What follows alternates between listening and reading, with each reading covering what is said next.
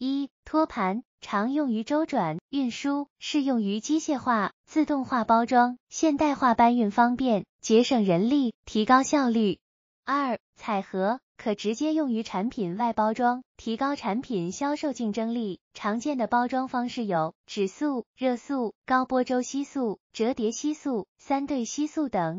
吸塑制品广泛应用于汽车配件、通讯、厨具、家电、医药、礼品、食品、五金、工具、电子、玩具、包装等行业。